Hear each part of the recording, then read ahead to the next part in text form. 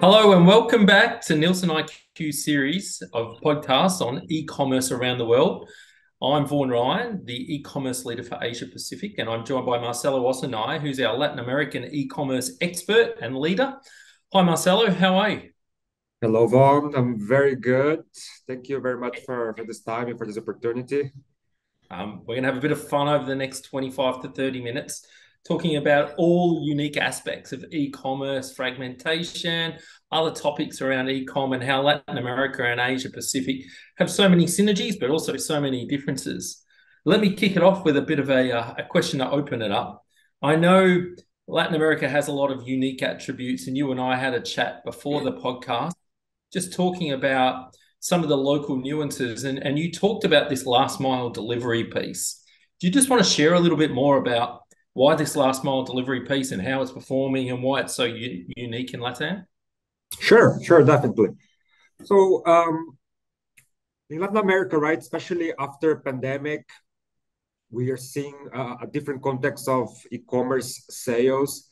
And I think one of the main highlights for last year is definitely the rise up, right, of these last milers, or we can also call it quick commerce. There's many names, right, that we can refer to but um, definitely uh, it has been like a bigger a very huge trend you know in terms of businesses connecting you know this last mile with the consumers uh, especially you know for for beverages. I think this one is one of the main highlights how companies are reinventing themselves to better serve consumers and uh, not only that, right, we can also see consumers are getting more used to this type of services and uh, start valuing, right, this convenience of receiving, you know, cold, fresh products in a very quick way and uh, without having to leave their household. So it's something that's being very, you know, strong here. Many players rising every month, you know, trying to get a piece of this market and it has been like a huge change right for all the fmcg uh, manufacturers and retailers. And and marcelo i know in asia pacific we delivery as quick commerce. And you and i were talking about all the different phrases that are being used and you call it last mile. I know some other people are calling qcom fast delivery hourly delivery. When we my experience in asia pacific is it's interesting which categories are starting to take off in this quick com last mile delivery. And one of the, the fascinating factors for me is alcohol. And I've used this as an example in the past, but over 50% of alcohol sales in the off premise are being sold online in Singapore now. Mm. Have you got any unique categories you're seeing in Latin America that you know you call out for this last mile delivery? You mentioned fresh, but anything else? Yeah, and um, especially let, let me talk about alcohol first, right? When we talk about total yeah. e-commerce platforms, websites, and apps, definitely a liquor like whiskey, vodka, gin, and rum are the highlights, right? Like it's amazing the relevance of e-commerce as a total right platform for whiskey, for example, because of the high value, because of it's a very specific type of product, no, and also of the specific needs of the shopper. It's one of the biggest highlights, right, for e-commerce in the last years. Like it's amazing. It's, it's already maybe the third or second biggest channel for, for Brazil for this specific category. And it's very interesting, right, for how this high level for high level products and um, such as whiskey or wine, the e-commerce has been instrumental, right, for the development of uh, of the consumption and this fragmentation, right, of different types of channels emerging into into the Latin American uh, consumer. Then I think there's not another step, right? That how the e-commerce evolved, and then we go into the last miler um, business. And I think one of the biggest value that I, I think consumer are seeing and noticing is the ability, right, to get access to alcohol products such as beer. I think this is one of the biggest highlights. And not only beer because of the assortment, because of the price, or because of the convenience, but because also they can get cold beer in a very quick and convenient way, right? Uh, so business managed to develop a whole infrastructure uh, that can serve consumers like in 30 minutes with com- competitive pricing and plus the convenience of getting receiving their products right? Whatever the, the shopper needs in a quick way and most important in a cold way right? Which is a very also big win. And it has been like a very successful business case uh, here in Brazil. Local apps, um, some uh, manufacturer apps also developing and getting to this business. And I think this is the main highlight how we started, right? This last miler for FMCG products. Now we are seeing also evolving into other type of categories such as fresh products uh, and even other more mainstream categories like household cleaning or anything right that consumer might need in a very quick and convenient way now they have this there's this platform or this infrastructure available to serve the consumers I know in again, and I refer to my region that the, the challenge for many manufacturers and retailers out there is to go in with a one size fits all. So I can talk about Singapore and talk about, you know, 50 plus percent of alcohol being sold online. But the reality is Singapore is unique across Asia Pacific. Yes. You know, at the other end of the spectrum, you get markets that still it's a, a huge off-premise component. One of the interesting factors I was talking in Indonesia recently was about the fact that despite the actual market share of e-commerce being relatively small compared to a Korea or a China, it's interesting that Indonesia is fast becoming the third biggest e-commerce market in absolute value in the world. Now you're being based in another a large population country like Brazil. You know you got Mexico as well up uh, north. Tell us a little bit about the unique attributes of some of the markets in Latin America, and that despite e-commerce being relatively small in terms of market share, not a China or a Korea or a US market share. What about some of the values and some of the growth numbers you're seeing? Yeah, that's a very good question. Um, we all know, right, that um, in the last three years we had a, a very big, right, uh, driver for e-commerce development, yep. which is the COVID nineteen. So basically, every market, every manufacturer, and every retailer had to reinvent themselves and start getting into this into this channel. Uh, and I think the last years we've seen a high levels growth in both like all the Latin American markets in terms of e-commerce development, double digit, high double digit growth, right? Talking specifically about Brazil, we've seen 40% in, in 2021 and 30% 2022.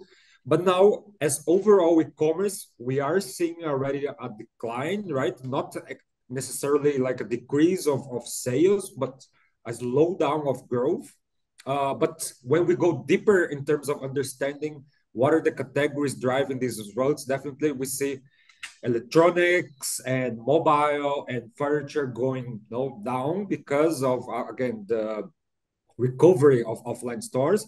But we are seeing niche, not niche categories, but niche categories for the e-commerce or not traditional categories for e-commerce, at least in Brazil, like like FMCG categories, rising up taking you know uh, a bit of this market share and exploring the opportunity uh, that this channel that can bring bring right to the reality of the consumer. So I think it's interesting to see how now FMCG is taking a, a more relevant role in Latin America, uh, bringing you know, the frequency or the the, um, the more volume, right? At least the more volume aspect for these yeah. platforms and making sure that the consumers are constantly visiting these websites. And I think this is one of the interesting things I've seen in the last year.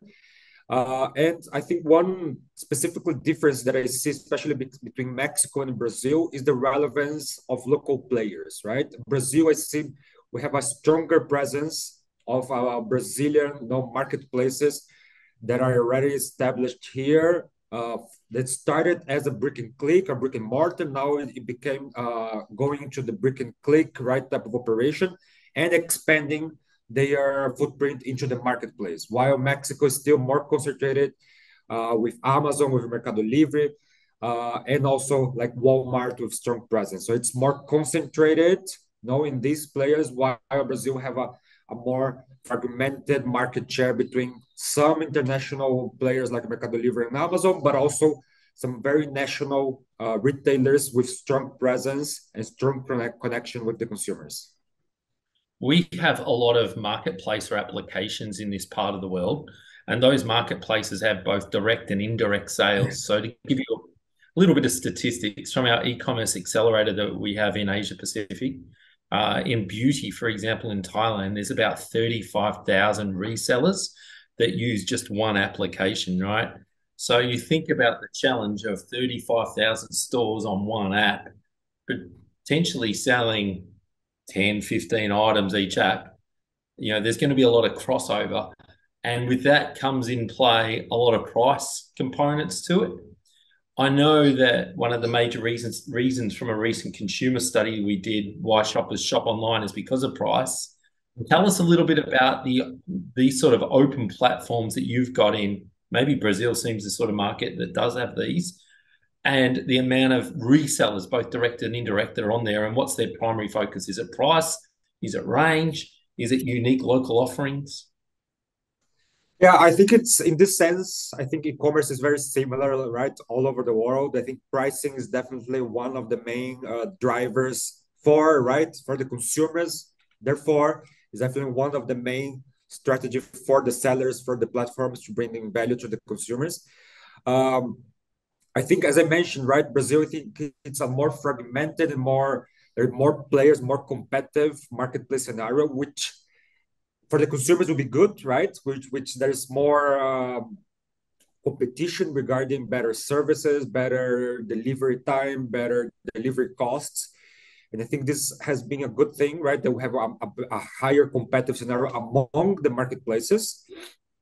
Um, while I think uh, another, I think specific specific thing about Brazilian markets that I've seen specific players, right? Especially local players trying to diversify their markets and um, doing a lot of acquisitions of different type of businesses to try to consolidate a, a bigger footprint right? Like uh, usually maybe a previous brick and mortar focus on furniture now they are expanding to electronics but not only like offering electronics but also buying specific brands right?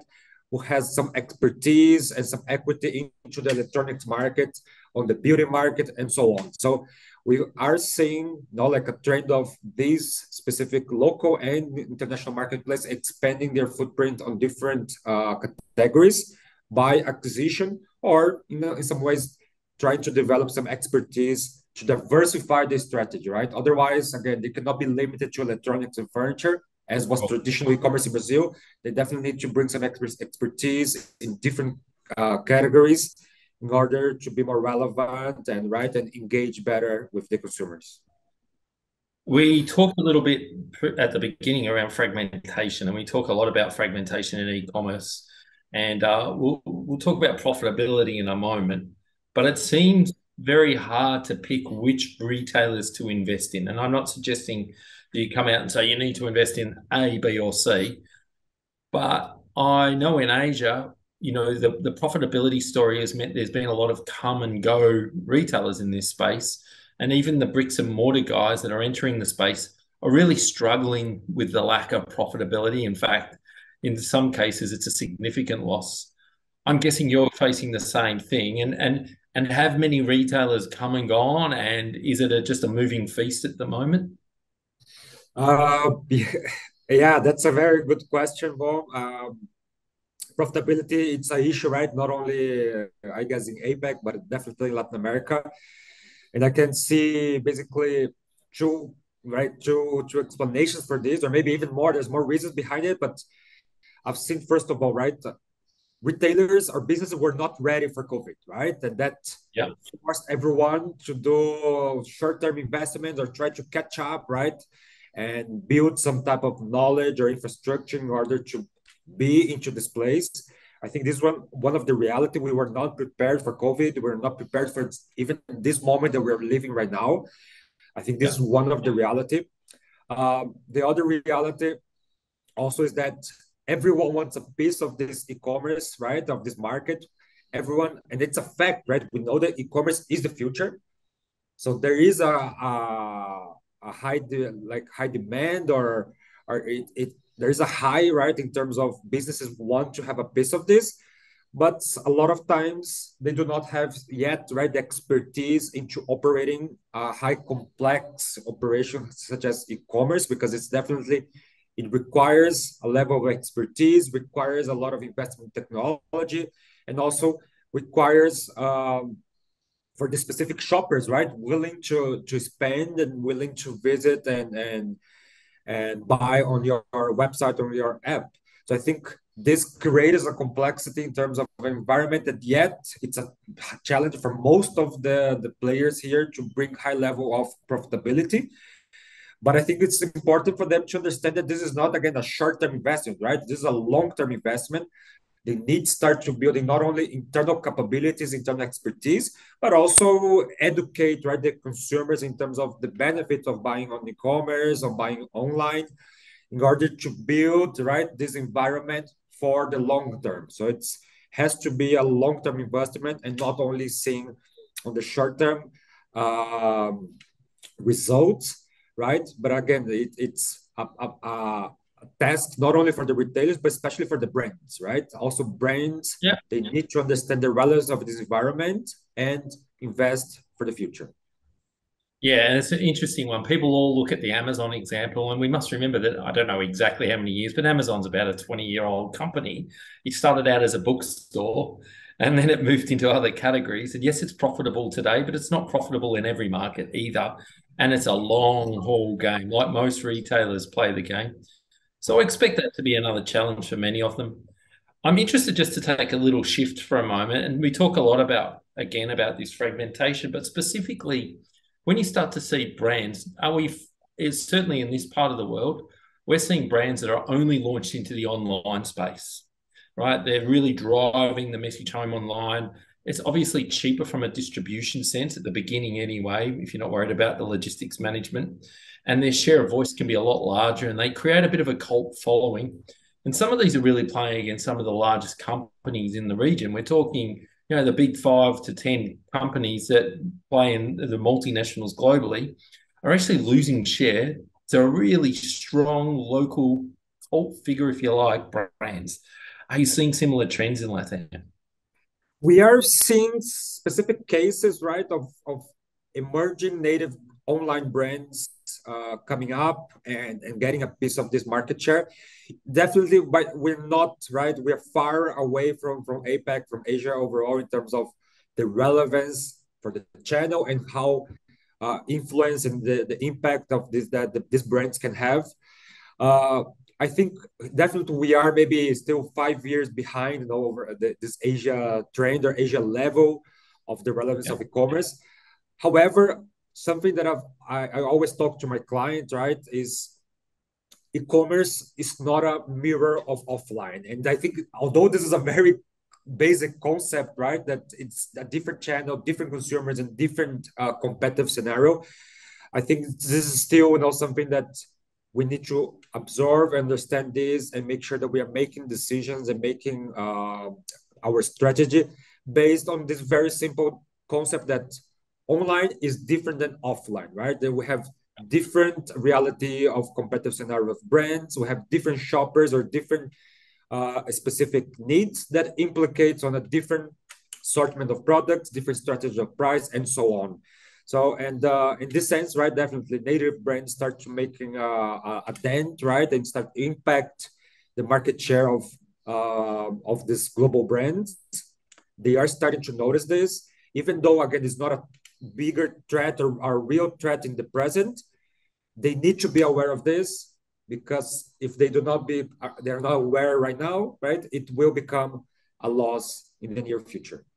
Yeah, 100%. And this is the real challenge, right? We talk a lot at NIQ about Omni, and Omni is a really, it's an easy word to say, it's a difficult thing, thing to mm-hmm. navigate.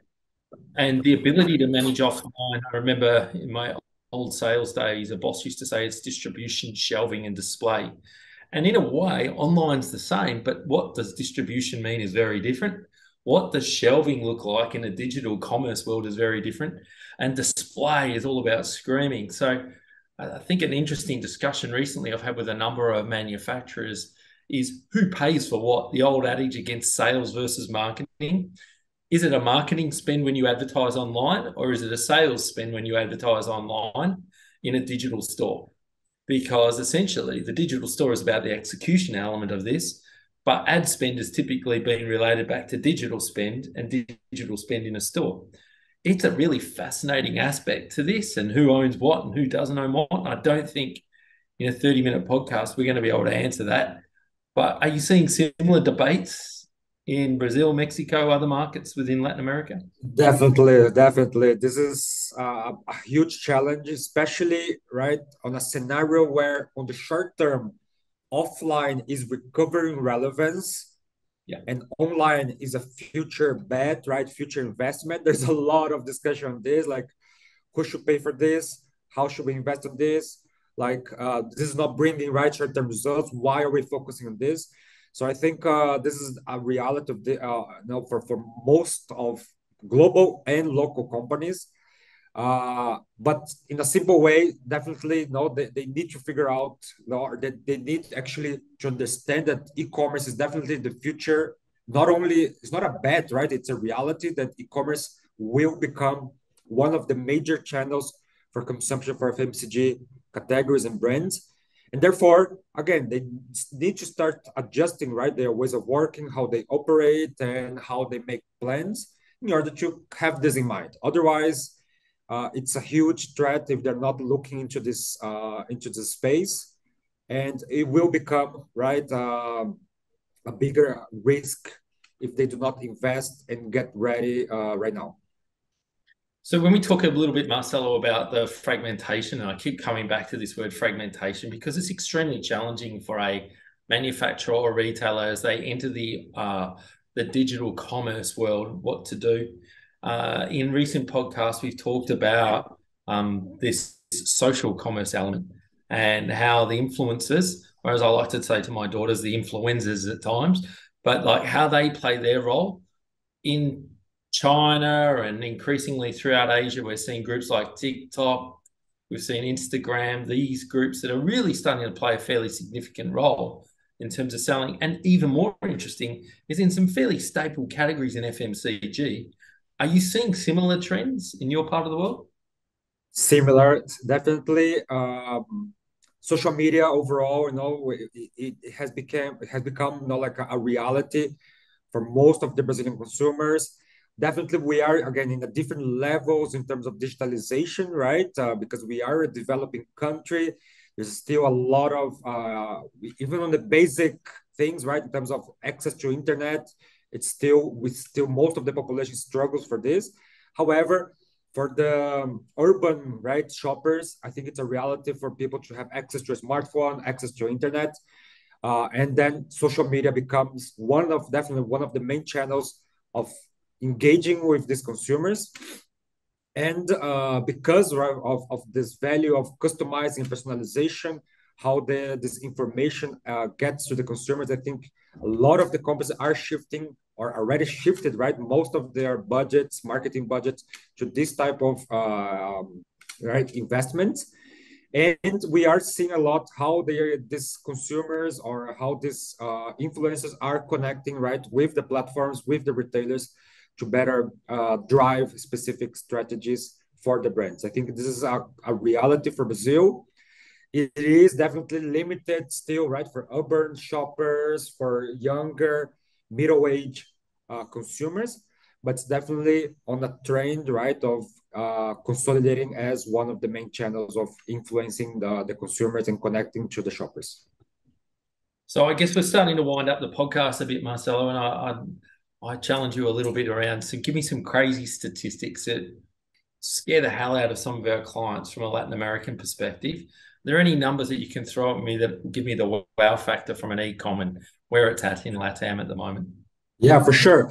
So, for example, one of the main numbers, right, that we had closing the 2022 uh, results, which is again is very interesting to see this, right?